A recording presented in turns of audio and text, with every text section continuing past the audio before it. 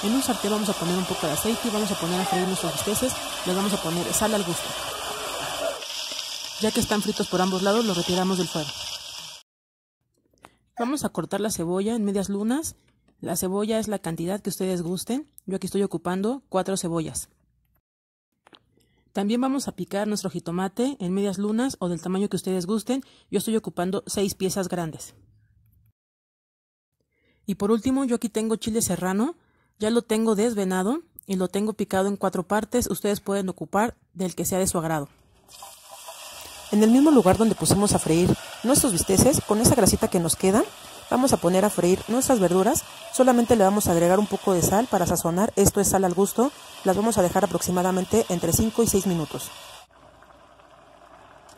Pues ya que pasaron los 6 minutos que dejamos nuestras verduras, vamos a agregarle los bisteces y lo vamos a mezclar muy bien.